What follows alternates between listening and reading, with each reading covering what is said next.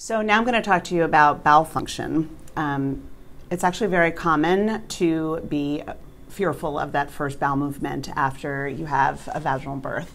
Um, understandably, many women are afraid that passing a bowel movement would damage the repair and will be exquisitely painful, or both of those things. And um, we're going to talk a little bit about this to try to prevent any of those things from happening. So, maintaining soft bowel movements um, that can be passed without straining helps avoid pain with defecation or having a bowel movement. And it also can prevent um, disruption of some of those tears. So, constipation during pregnancy is pretty common, um, mostly from the hormonal changes that happen, and that can persist after you deliver as well. But also, some of the medicines you use can also um, encourage constipation. And so, it's really important to be um, pretty good about your bowel movement and pay attention to them.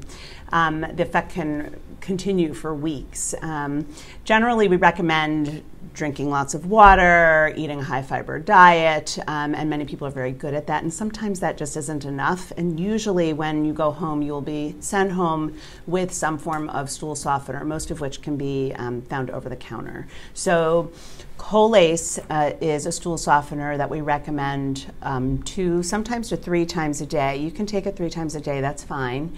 Um, what that does is soften the stool so that you're not straining as hard to get it out.